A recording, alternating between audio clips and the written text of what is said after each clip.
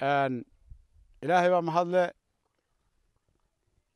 goobtan ku sugannahay waa boqco taariikhi ah oo ku taalla koonfurta magaalada hargeysa koonfurta galbeed ee magaalada hargeysa.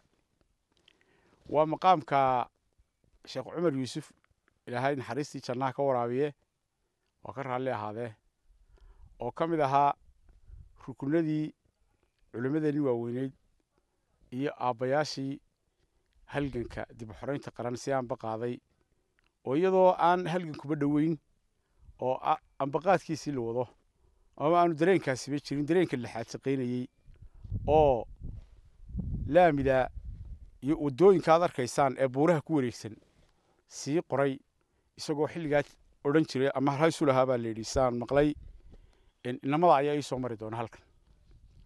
Naxariis janaallaha ka waraabiyo sheekh cumar sheekh yuusuf iyo culimmadeennii kale ee faraha badnayd ee dalkeenna waxaan saaka halkan u holoday kabaraddan ama u soo istaagay fagaarahan inaan ka idhaahdo dhowr erey. Dhowrkaa ereyoo qaarkood yihiin raalligelin qaarkoodna yihiin bogaadin qaarkoodna yihiin tilmaan guud oo qaran. Waa midda koowaadee waxaan halkan saaka aan raalligelin uga dirayaa mas'uuliyiin muddooyin dhexdaas oo aan ka hadlay warbaahinta aan qirayo inaan xuquuqdooda iyo sharafkooda meel kaga dhacay oo aan ku xadgudbay. Mas'uuliyiintaas oo runtii aan ka magac dhabi karo ama ka magacaabi karo guddoomiyaha xisbiga waddani xerse cali xaaji xasan oo dhowr jeer oo aan hadlay runtii aan qirayo inaan xuquuqdiisa qofnimo meel kaga dhacay. Waxaa ka mid ahayd kelmadahaas mar anoo balligubadle ka hadlaya inaan idhi xirsow haddaad ka badbaaday kaarihii hore ee dowladdii faqash waxaa ballanay inaad ka badbaadin kaaraha nabadda jamhuuriyadda somalilan ilaalinaya. Waxay ahayd xirse haddaan naqdiyayo inaan ku koobnaado aragtidii aragtidaan ka qabo laakiin ilaa heerkaa inaan naftiisa khatar geliyo oo andhaa kaaraa ku jiiraya. Wax dow a may ahayn. Cafwan baan leeyahay xirse cali xaaji xasan guddoomiyaha xisbiga waddani raalligelin weyn baan hawada u marinaya.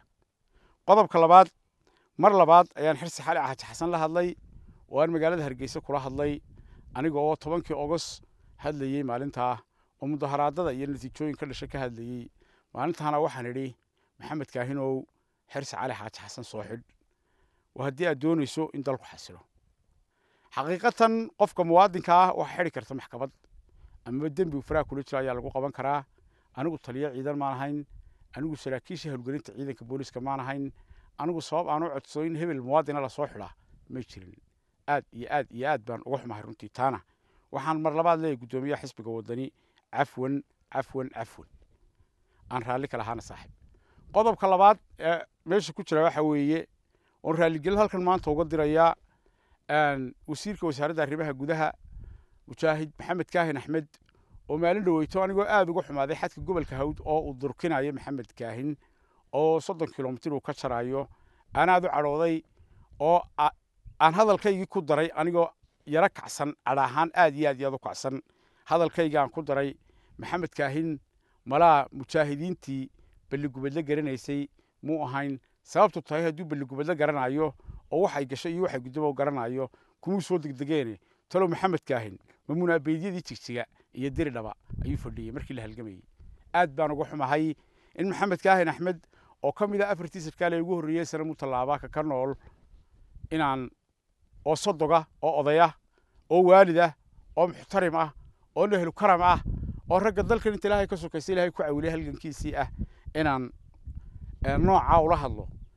Waxa maxamed kaahin kuma caqliyadayda iyo qofnimadayda ayay runtii arrintaasi aad iyo aad iyo aad hoos ugu dhigaysaa. Waxaan leeyahay cafwan mujaahid maxamed kaahin axmed waxaanse kaa codsanayaa adeer maxamed kaahin axmedow inaad soddonka kilomitiro dhulka hawd aad ka jiraysa joojiso sababtu tahay hawd waa gobol deegaanadan kale aad barbar dhigayso ee salaxley iyo faraweynayana waa deegaamo hoos yimaada hargeysa. Marka adeer xeerka caasimadda la xadeeyo marka adeer uu soo baxo xeerka caasimaddu marka xeerka kala xadaynta gobollada degmooyinka la sameeyo maalinta adeer xeer hadurka iyo xuduudka gobolka hawd. Waxaan aad iyo aad iyo adeer kaaga codsanayaa adigoo qof muxtarima adigoo ah qof mas'uula anigoo ixtiraam kuu haya anigoo ka mid a ragga aada uga cadhooday in maayarshiine cabdihayaan la gacan maroojiyo oo degmadiisii laga talagelin waayo oo ciidamo lagu saaro oo tallaabooyin qaldan laga qaado shiino aan isku carruur ahayn isku fasal ahayn isku shaqo ahayn aan aqoon fiican u leeyahay xilkiisii uga tegey wasaaradda waxbarashada uga tegey inuu halkaa wax ka soo lagu risaan gareeyey waxaan mudane mujaahid aad iyo aad iyo aad baan uga xumahay waxaa kaloo hadalkaygaa ku jirtay maxamed kaahin insha allahu xilkaa uu hayaa arrimaha gudaha xil ka dambeeya ma qaban doono. Ilaahay qeybkiisa waxaa isku qorin qofku wuxuu noqonaya iyo halkuu tegaya waxaa laakiin inaan yara xadgudbay oo cadhadu iga tan badatay ayaan runtii u arkaa. Maxamed kaahin mar labaad baan ka codsanayaa xur maanu kuu haynaa. Haddaanu nahay dadka waxaan ku idhi muxuu ahaa gobolka hawd ka soo jeeda. Haddaanu nahay beelweynta arabba meel kastoonu joogno. Laakiin adeero cabdikariin axmed mooge oo xisbiga waddani ka soo baxay oo nin dhallinyaro ah oo dadaalaya waxaan kaa codsanayaa inaanu xuduudkii hore ee xukumi jiray aanu dhaafin. Halkaa fitna ka dhalan karta. Degmadii beligubeedle ka wada hadli mayna waxaan ka wada hadlaynaa adan xuduudka caynkaasa maxamed kaahin hadalkaas. Muu qalmaynin muu qabanin maxamed kaahin waxaan leeyahay adeero aad iyo aad cafwan cafwan cafwan. Ugu dambayn waxaan halkan ka hambalyeynayaa muddo kordhinta loo sameeyey madaxweynaha jamhuuriyadda somalilan mudane muuse biixi cabdiye labada sano ah. Waxaanan aad iyo aad ilaahay uga baryayaa inuu ku asturo mansabka iyo mas'uuliyadda ummadeed ee uu hayo. Waxaan madaxweyne muuse biixi u hayaa abaallo badan oo uu dalkan ku leeyahay taariikh badan oo fac weyn baan u hayaa. Muuse biixi waxaan aaminsanay inuu yahay halgamaa ilaahay ku simay dalkiisii oo xora. Waxaan rajaynayaa runtii inuu aad iyo aad iyo aad labadaas sannadood ee u hadhayna uu si aanbaqaali doono horumarkii iyo geediyadii socday. Waxaan hambalyeynayaa oo kale salebaan maxamuud aadan guddoomiyaha golaha guurtida oo oday soo jireena qaranka kaalin ugu jira. Laakiin salebaan hal baa ii dheeroo. Waxaan odhanayaa salebaan maxamuud aadan oo adeero. Anigoo ixtiraam weyn weyn weyn kuu haya. Anigoo tixgelin weyn weyn weyn adeer kuu haya. Waxaan ku leeyahay guddoomiyuhu golaha guurtidaa tahay golahaaga adeer shan sana aad u kordhisay. Golahaaga haddana adeer shan sana u kordhisayna madaxweynena laba sana aad u kordhisay.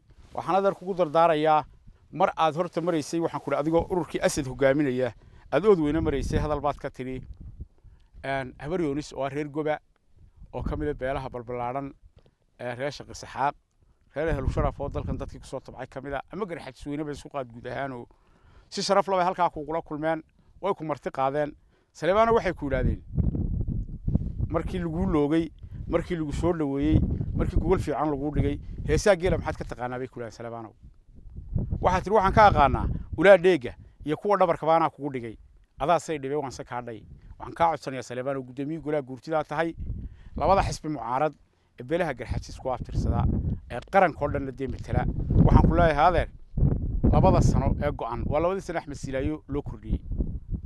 Waa labadii sano labada sano meesha ka maqani waa laba sano axmed silaayo kororsaday iyagana u kordhi baan ku leeyahay ilaa adeer adba shan baad ku dhufsatay madaxweynihi labaad ugu dhufatay somalilan isu jooji ururada ragga hogaaminaya mujaahidiin bay badan yihiin oo yeedho dalka aynu u turdhadhaho aynu isu joojino nimankaas maalintii aad ka dhayleed ballanqaadka hore aad samaysay ayaynu taagannahay somalilan nin isku wada inaad noqotaan adeer kaa rajaynayaa maanta da' baa tahay waxaanan qirayaa qaranka inaad maalmo badan oo kale u soo adeegtay waxaan hambalyo kale saleebaanoo kuugu hayaa tan iyo maalintaad golaha guurtida fadhiisatay.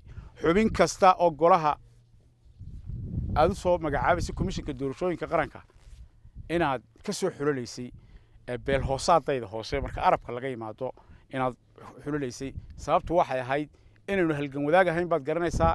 Ragga abaaladii celiye siyaasiyiinta baad ka mid tahay waxaad afartaa jeer soo magacoodaysaan qoryo laba goor oo cabdiraxmaan daxooda mar ninka la yidhaahdo waxaan ku muxuu ahaa wasiir cabdiqaadir iimaan warsame iyo iminka oy faadimo quulle cabdiqaasaali fadhido.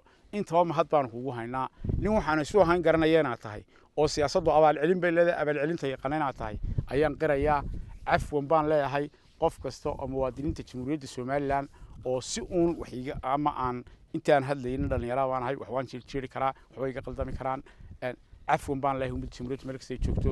Dalkeenna waxaan u rajaynayaa somalilan inuu horumar sameeyo inuu guulaysto wasalaamu calaykum waraxmatullaahi wabarakaatu